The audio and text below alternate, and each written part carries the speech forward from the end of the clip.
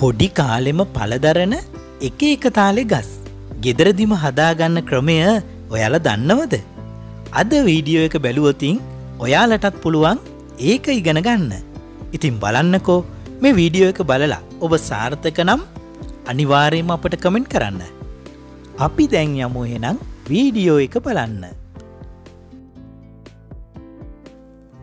මුලින්ම කරන්නට ඕනේ ඔබේ ගෙදර ගෙවත්තෙ තියෙන ලෙමන් එමනත්නම් දෙහි වර්ගයට අත් ශාක හෝ ඔබට පැළකරගන්නට අවශ්‍ය ඕනෑම ශාකයක අත්තක් මෙන්න මේ විදියට කපා ගන්න ඕනේ. ඉතින් මම අද මේ වීඩියෝ එක සඳහා කපාගන්නේ හොඳින් වැඩුණු ලෙමන් ගසක අත්තක් තමයි.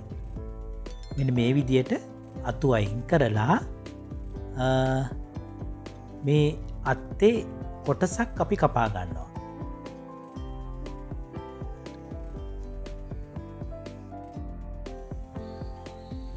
මෙ මේ විදියට අපි අනවශ්‍ය අතු කොටස් ඉවත් කරලා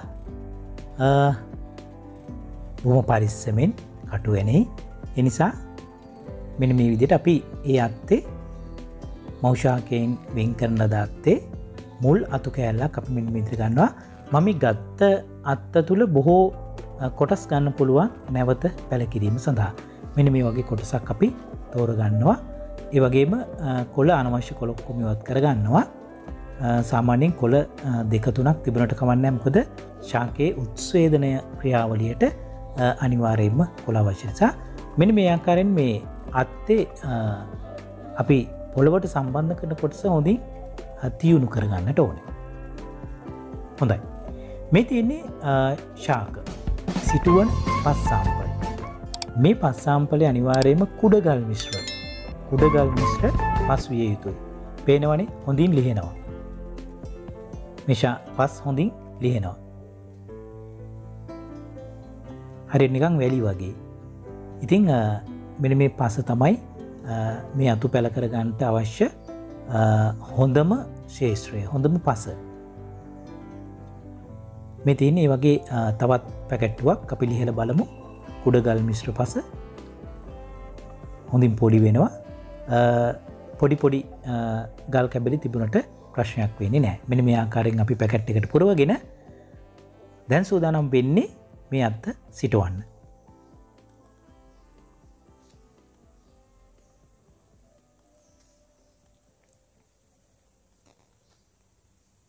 මේ තියන්නේ හොඳ විෂබීජහරණය කරන ලද ඉටිකවරයක් ඒවගේම රබර් බෑන්් එකක් අපි මේ සඳහා යොදා ගන්නවා. අපි ඉටිකවරය පැත්තකින් තියලා ඉස්සෙලාම වතුර ටිකක් අරගෙන මේ පස හොඳට තෙමන්නට ඕනේ.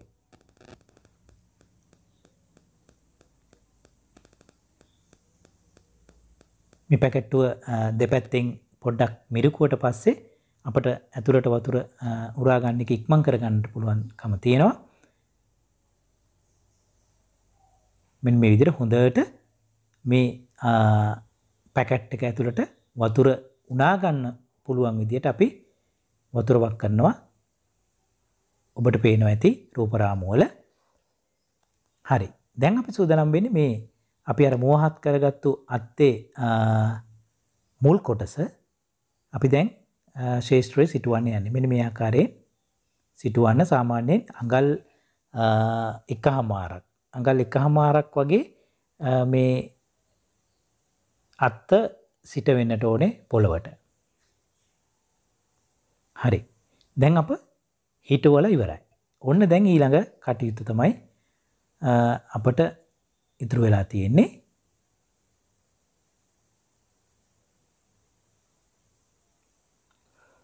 හොඳයි මෙන්න මේ විදිහට අපි ඊළඟට මේ බෑගේ අරගෙන සුළඟේ හොඳට මේ කළ පොඩ්ඩක් අර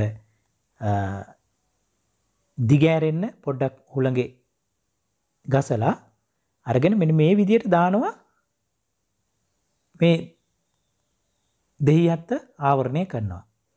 ආවරණය කළ අපි මුලින්ම අල්ලගෙන අපි මේකට රබර් බෑන්් එකක් දානවා සාමාන්‍යයෙන් සත්තුන්ට ඇතුළට යන්න බැරිවෙන්න සහ ජලය එලියට වාශ්ප වෙන එක නවත්ත ගන්න. මෙන්න මේ විදිහට අපි රබර් බෑන්ඩ් එක දානවා. ඔබත් අනිවාර්යයෙන්ම ගෙදරදී මේ ක්‍රමය අත්හදා බලන්න මේක 100%ක් සාර්ථකයි. මොකද පැල තවානක් කරන අයෙකුට මං හිතන්නේ සෑහෙන්න මුදලක් උපය ගන්න පුළුවන් මේ වගේ ලෙමන් වෙරළු ඕනෑම ඕනෑම ශාකයක අත්තක් මෙන්න මේ විදිහට පැල කරගන්න ඇප්කි බොහොම ඉක්මනින්. මෙන්න මේ විදිහට තමයි අපි දැන් මේ බලාගන්නක පුළුවන්කම තියෙන්නේ.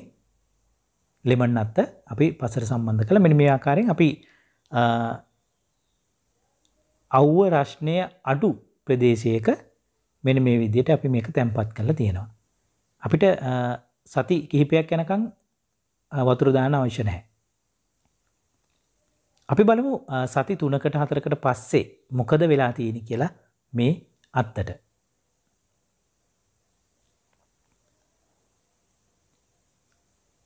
හොඳයි අපි සූදානම් වෙලා ඉන්නේ දැන් සති තුන හතරකට පස්සේ මොකක්ද මේ අතර වෙලා තියෙන්නේ කියන බලන්න. අපි මේ මතු පිට තියෙන බෑග් ආවරණ ඉවත් කරලා අපි බලමු අත්තට මොකද වෙලා තියෙන්නේ කියලා. හරි. මේ තියෙන්නේ ඒ වගේ සති 3-4කට පස්සේ අපි සකස් කරගත්තු අතු කැබැල්ල දැන් ශාකයක් බවට පත් වෙලා තියෙන්නේ. හොඳයි. ඔබට තවමත් සැකයක් තියෙනවා නම් මේ අත්තේ මුල් ඇදිලා නැද්ද? එහෙම නැත්නම් මම ඔබ රවට්ටන්න වෙනත් අත්තක් අරගෙන සවි කළද කියලා බලාගන්න පුළුවන්. මම දැන් ඔබට ගලවලා පෙන්නනවා මේකේ ඇදිච්ච මුල් ප්‍රමාණය. මේ තියෙන්නේ. දැක්කද? හරිම පහසුයි. ඕනෑම අත්තක මේ විදිහට මුල් අද්ද ගන්න පුළුවන්කම තියෙනවා අපිට සති දෙකකින් තුනකින්.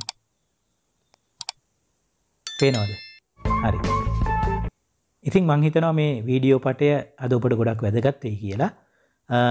ඔබේ ඔබට යම් ප්‍රශ්නයක් තියෙනවා නම් පහතින් කමෙන්ට් කරන්න මේ තියෙන්නේ අපි ඒ වගේ හදාගත්ත වෙනත් ශාක නුග ගස් අතු පැල කරලා තියෙනවා ඒ වගේම මේ ශාක ඉතා ඉක්මනින් පලදරණ ශාක බවට පත්වෙනවා නොවනු මානයි. ඉතිං වීඩියෝක හොඳයි කළ හිතෙනවනම් සබස්ක්‍රයිබ් කරලා අපට සහයෝගයක් දෙන්න බොහොම ස්තුතියි හැම දෙනාටම තෙරුවන් සරණයි.